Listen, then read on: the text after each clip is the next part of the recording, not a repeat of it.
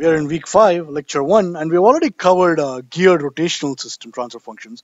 So let's go over the exam, right? And it's like I said, this first exam is actually pretty mundane, right? And people made very, uh, it's not an important mistake, but conceptual error. So I'll highlight where people lost points, and I've, I know one error I made on some people's exams. So basically, you have one week that is till uh, lecture one of week six to get your exam fixed, right? But it's only a couple of points which I took off and I should not have taken it off.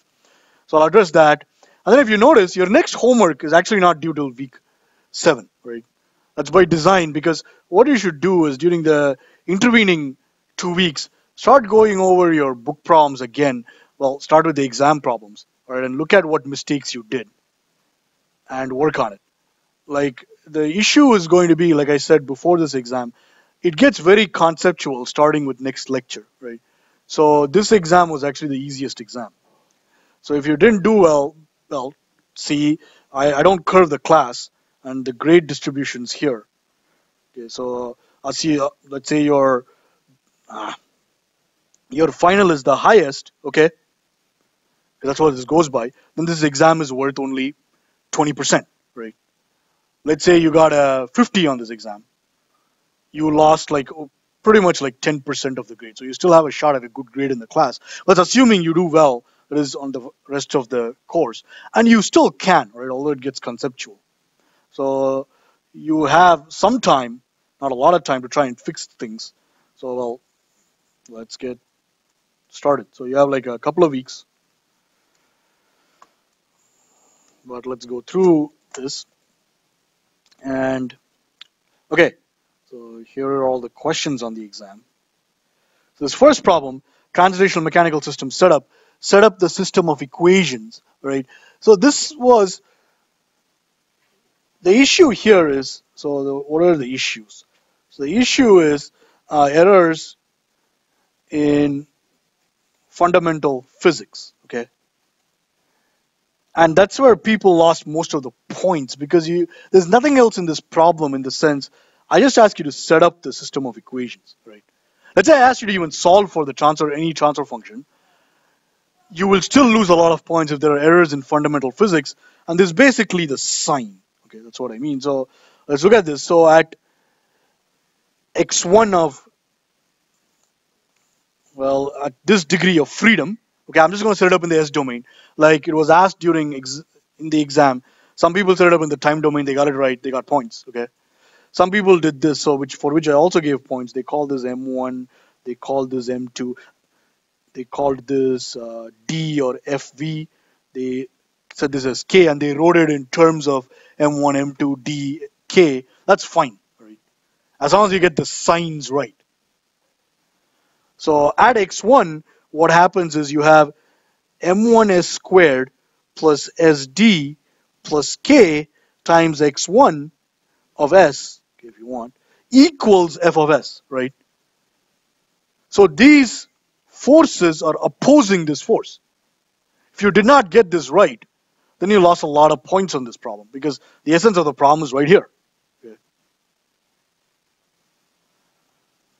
Minus the other mistake was, so this was one issue, uh, incorrect coupling impedances. Okay. So what that means is uh, basically over here this is x2 of s and the coupling impedances are SD and K. Yes. So you have a negative sign here because when you look at it from the perspective of the first degree of freedom, as I hold this one still and I pull this to the right, these two coupling impedances are pulling this to the right in the direction of F, yes? But some people wrote here plus SM1. That actually, I don't remember how many points I took off. You can, it's not as much as the signer, okay? The signs are like insanely important in this problem. Not only in this problem, in any problem, right? So, and then at X2, you basically have, see, minus, so this from the perspective of S2, X1 of S plus, in this case, it's going to be m2s squared plus sd plus k times x2 of s equals 0, right? And some of you wrote f of s here, which doesn't make sense because f does not act on this, right? So unfortunately, these are silly mistakes, but uh, they're, I mean, I, they're, they're not, right? They look like silly mistakes, but they're really not. So the way you avoid this, I'm hoping, is you be more mindful, all right? If you really don't understand why these signs are negative and what these coupling impedances are, then A, you have to see me in office hours. B, you really have to work hard to catch up because after this, like I said, it gets pretty conceptual, right? So any questions on this?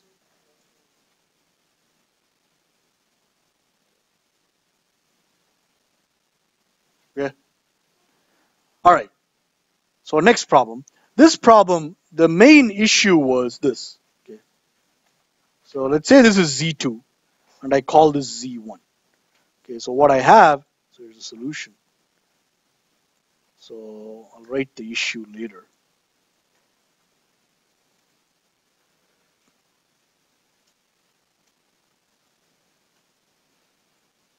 What kind of an amplifier is this? It's a non-inverting amplifier, right? So the issue was people wrote this is an inverting amplifier. So this is the issue, and this is incorrect, right? So this is the first issue, inverting amplifier, and obviously this is wrong. Why? Because the input goes into the non-inverting terminal, right? Number one. Number two, this is a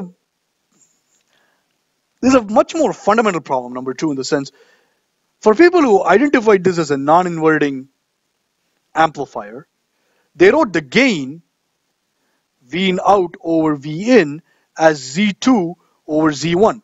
This is wrong, right? It's 1 plus Z2 over Z1. I'll derive it. Either you remember it correctly, and if you don't remember it, you should know how to derive it, okay? In other words, when you write this down, you better be damn sure this is the gain. It's not. How do you derive it? Well, looking at this picture, so from here, uh, so here is Vn, here is Vp. There are no rail voltages. So Vn equals Vp equals Vi, all right? Then we do KCL at Vn. So KCL at Vn means this current is zero. Let's call this I1. Let's call this I2. I1 is what? Minus Z1 over V, minus Vn over Z1, okay? So I was about to make a mistake in Ohm's law, but so that's the thing. You got to be mindful of what you're doing, right? You just can't write stuff without thinking, right? When you write stuff like adding currents to voltages, it it's a disaster, right? It basically tells me you're not thinking, and you will get like no points for it. You just can't write that. So then I2 is what? Vn minus, so this is actually 0 because this end is grounded and current is flowing from left to right. So 0 minus Vn over Z1 equals Vn minus V0 over Z2. Okay, Vn is Vp, but that's Vi. This is minus Vi over Z1 equals Vi over Z2 plus V0 over Z2. Okay, so basically, uh, actually, ah, what am I doing? I don't need to do this. So this is Vi minus V0 over Z2. I'm looking for V0 over V in. So let's see. You get V in times 1 plus Z2 over Z1 equals V0. Yes? So let's see. I cross multiply Z2 here. I move Vi to one side, V0 to the other side. Yes? This is what I get. So in other words, our gain, whoops, is V naught over Vn. That's how it's defined as the voltage gain. It's 1 plus Z2 over Z1. Is that clear?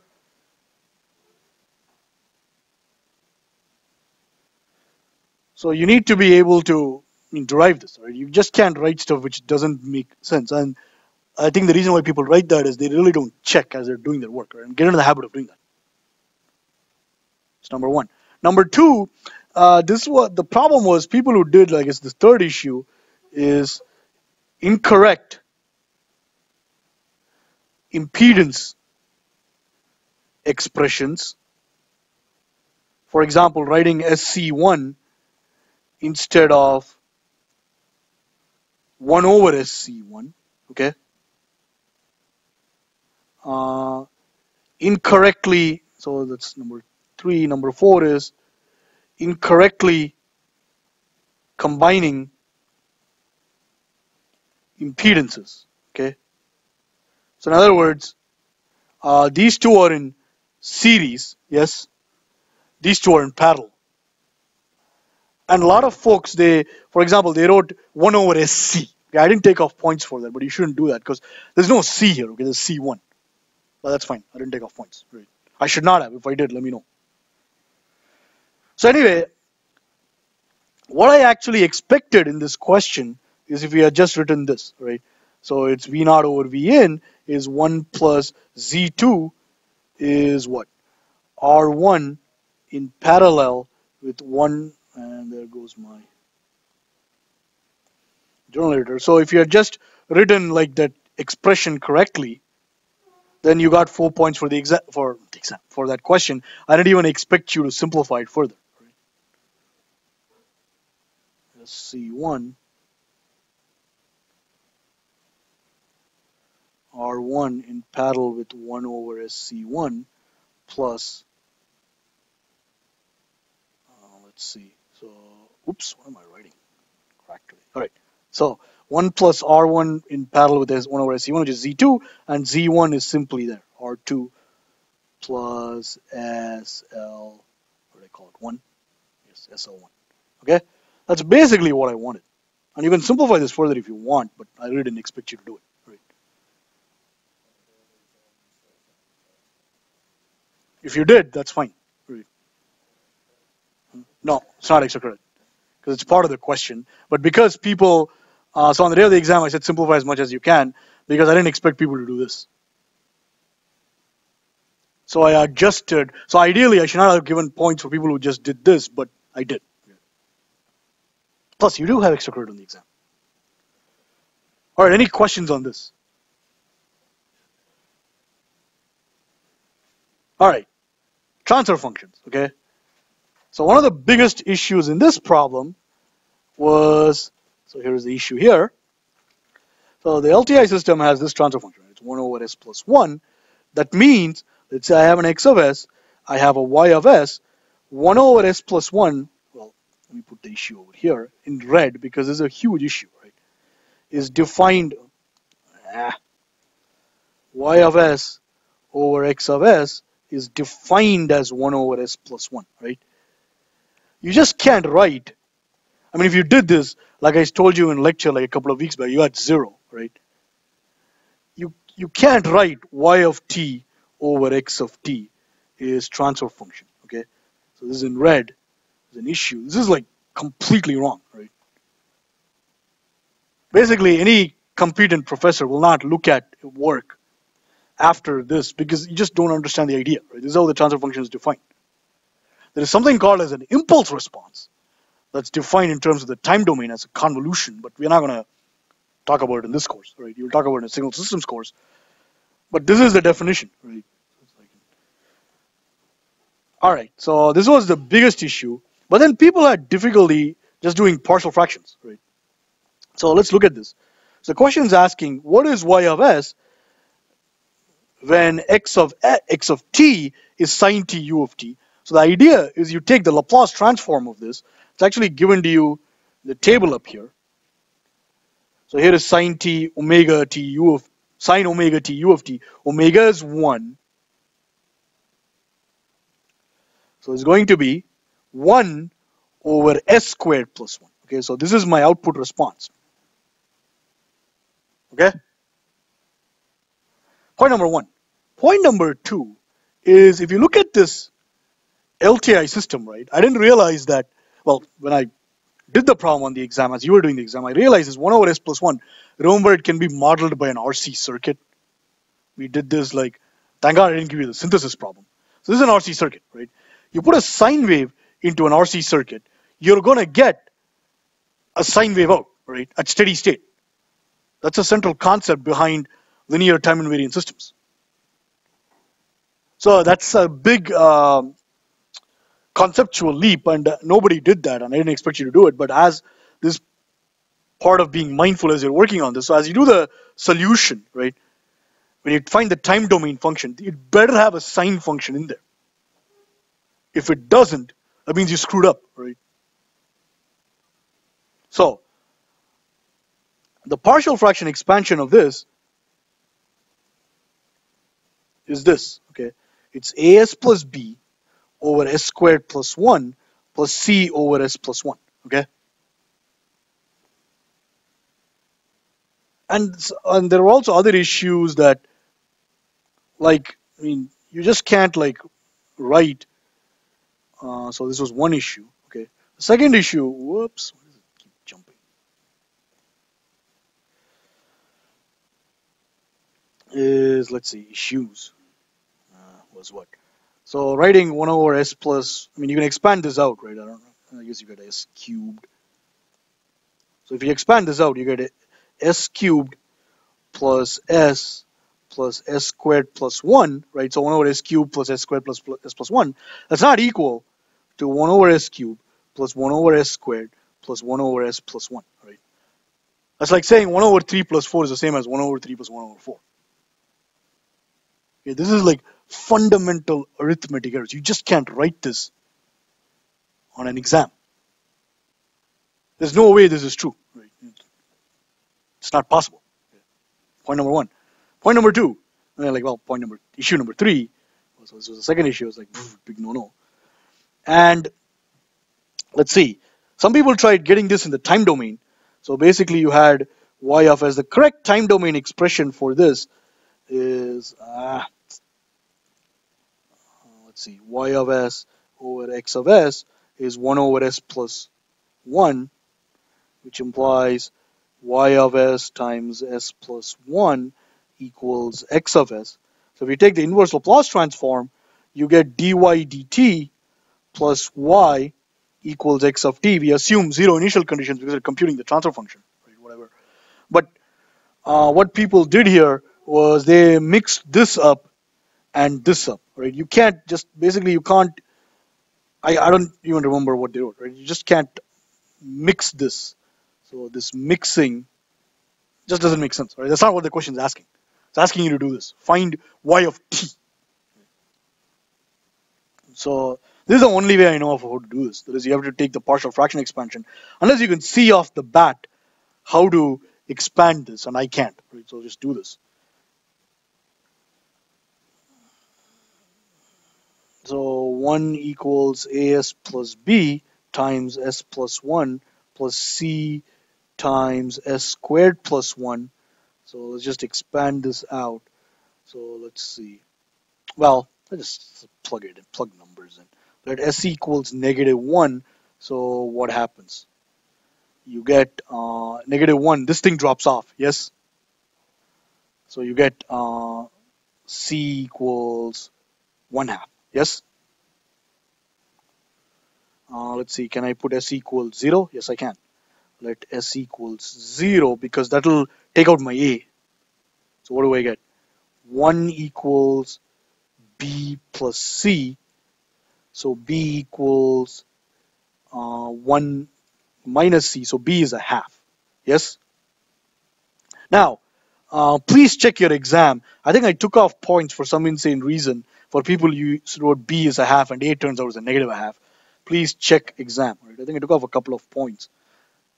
I I remembered it as I was walking down. So please check exam and come back to my office and I'll give you points back. Right. So let now let's see. What else can we do? Compare coefficients of s squared on both sides, right? On the left hand side, you have a zero here, no coefficient of s squared. On the right hand side, I know I have my a, yes, a squared plus b uh, plus b plus c, yes? That's it. So a is negative a half, negative c, yes? So please check your exam. That is, I'm pretty sure on a couple of people's exams I messed this up, right? Okay. So therefore, uh, 1 over s squared plus 1 times 1 over s plus 1, which is our y of s, is going is equal to what? Negative 1 half over s squared plus 1 plus 1 half over s plus 1 plus, no, no, no, plus s squared plus 1, right? Uh, plus 1 half over s plus 1. Yes? This implies y of t, if you take the, today is Monday. I'm really messing this up. So negative 1 half times s. I forgot the s. Because I know one of these is sine, the other is cosine. Okay? So which implies if you take the inverse Laplace transform, save this.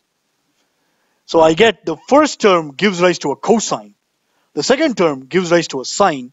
And the third term gives rise to a dying exponential. Right? So what I get is negative 1 half cosine of t plus 1 half sine of t plus e to the minus t u of t. This is my y of t. Yes, this is my response. And you can see that my steady state is a sinusoid. Okay, the transient dies out. it has to be because I'm putting a sine function into an linear time invariant system. At steady state, I better get a sine function, right? If you get anything, if you don't get a sine function, you screwed up, right?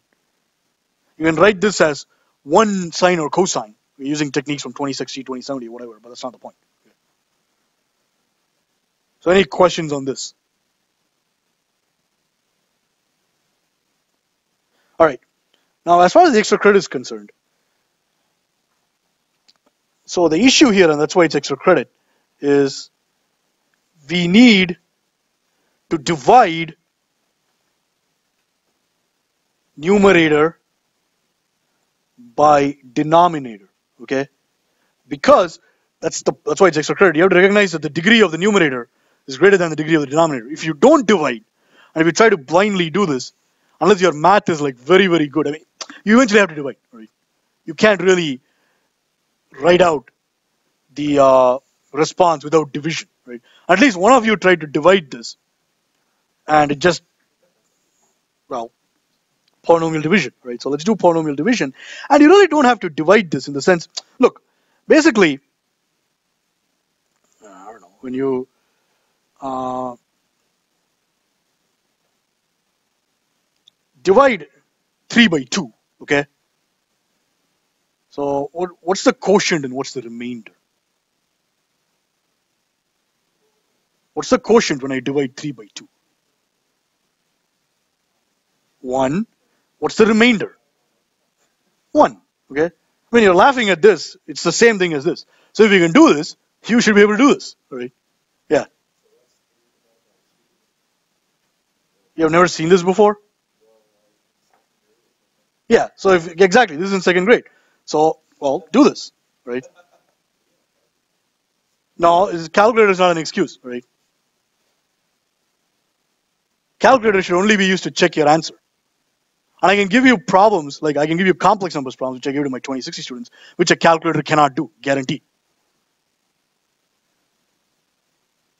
All right, so if you can do this, do this. So in other words, okay, this is the point, right? So 3 divided by 2 is 1.5, yes? Which is 1 plus 1 half. Yes? Well, where do you get this from? So this is the quotient, okay? This is the remain. Oh, fine. Um, use a different color. So here is the remainder, okay? And here is the divisor. Elementary division, yes? Well, since like Derek correctly said, this is done in second grade, this is a natural, so what is this? So do the same thing.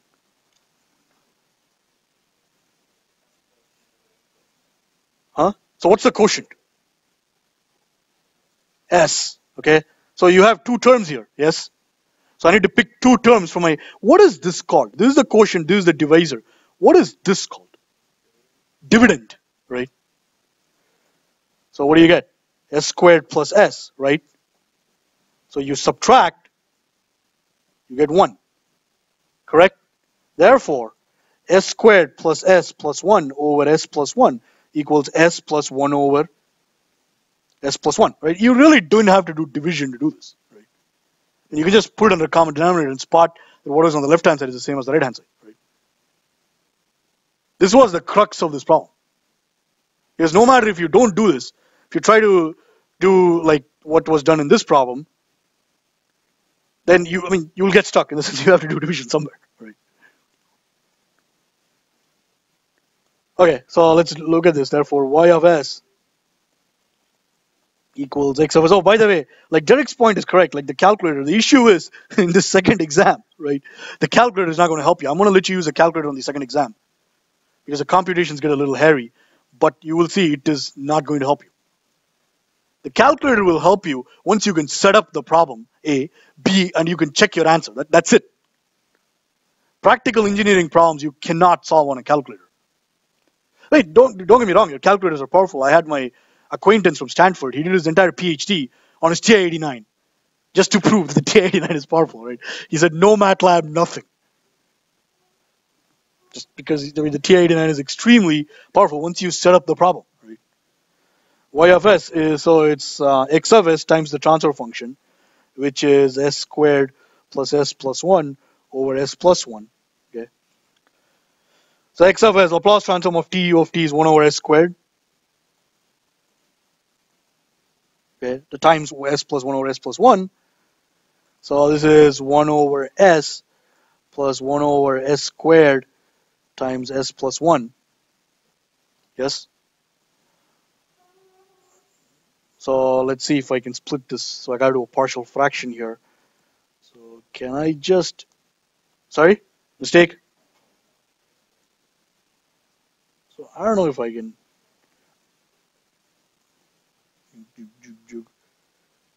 Mm, I don't think this works, right? So I think just quickly, if you want to do a partial fraction expansion of this, so now 1 over s squared times s plus 1 is what? What is the partial fraction expansion of this?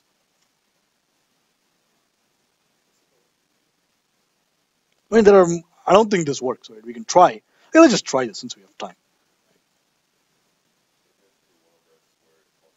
Yes, I think you need a plus 1 over s, right? So let's just do this. Let's see what happens, right? Because you have to get the idea of what partial fraction expansion is. So let me just put this as question mark. So you get 1 equals s plus 1 plus, what do you get? s squared. Oh, what am I? Ah, Monday, Monday, Monday. All right. So a times s plus 1 plus b times s squared, right? Let's see what happens. Uh, therefore, let's see. Um, let, how much time do I actually have? Oh, I got plenty of time, 20 minutes. Let s equal 0. So that'll take out my b, yes? So what do I get? a is 1, okay? So compare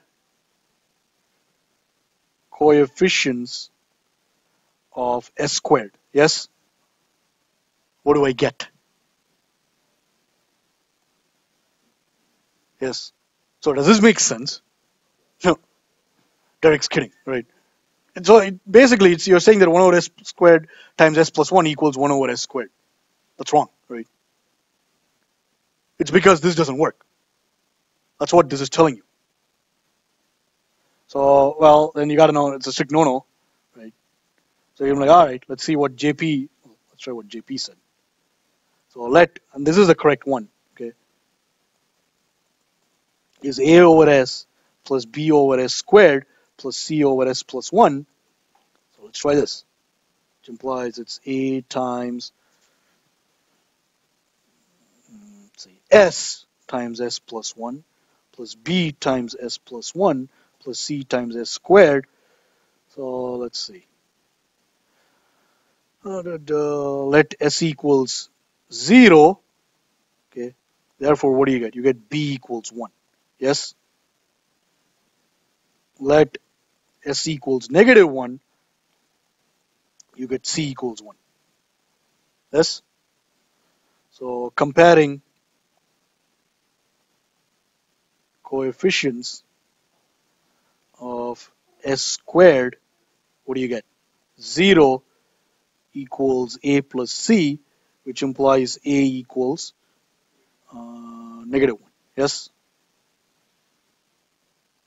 And you can see that, therefore, y of s is what?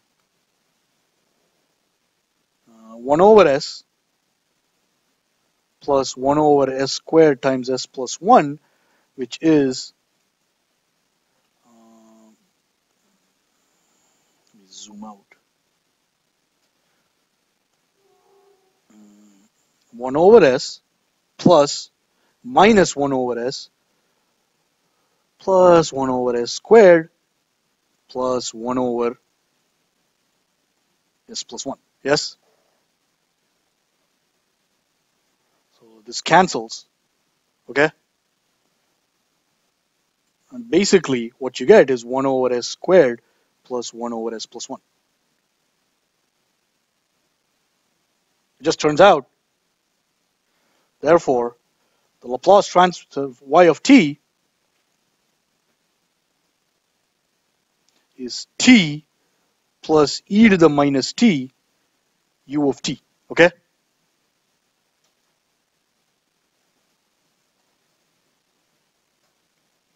Right? It's just an interesting system. Okay?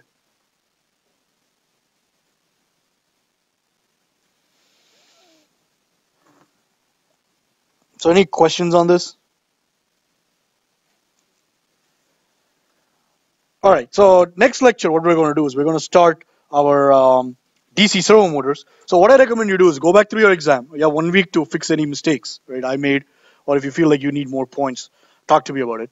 But you have only one week, right? After one week, I'm going to look at it, even if I forgot to grade an entire problem. So number one. Number two, the good news, well, actually, whatever. The, the good news is next exam you're allowed calculators, but I can tell you right now it's not going to help you right? If you cannot up the problem, because all of this, starting with DC servo motors, is very, very conceptual. Right?